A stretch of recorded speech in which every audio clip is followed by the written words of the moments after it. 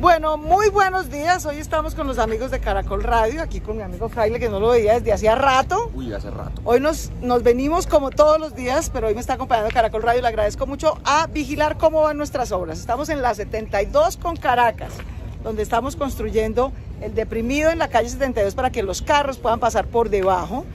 A nivel va a quedar peatones, ciclistas y Transmilenio y por encima va a ir la primera línea del metro. Este punto en la 72 con Caracas es un punto súper crítico. Aquí está eh, la Panamericana de la 72 con Caracas que es súper conocida. Este punto va a cambiar mucho, apreciados bogotanos. Va a cambiar mucho porque aquí llega la primera línea del metro, aquí es donde termina. Empieza en Bosa y Kennedy y termina acá, después de 24 kilómetros y 16 estaciones. Y allá al frente en la 72 con Caracas al occidente, empieza la segunda línea del metro, empieza subterránea, son 15 kilómetros bajando por toda la 72, luego la Cali llega hasta Suba. Entonces vamos a ir recorriendo esta obra, va bien, me cuenta aquí la gente del metro, aquí trabajan unas 100 personas, eh, los cogimos justo a la entrada. Estamos entrando, Están entrando porque entran hacia las 7 de la mañana.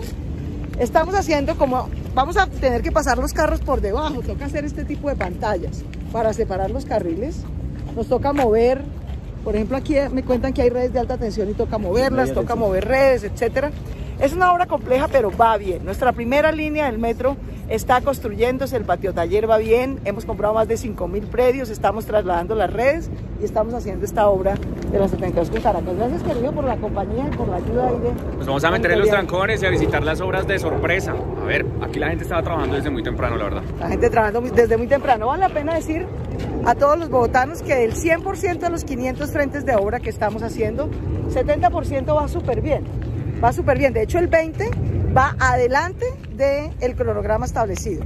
El otro 50 va en cronograma. Y el 30% restante ha tenido algún nivel de atraso. De atrasos entre, el, digamos, en promedio el 10%, porque surgen cosas que no teníamos previstas, porque a veces hay días de lluvia muy intensa que nos atrasan los trabajos, pero en general vamos bien.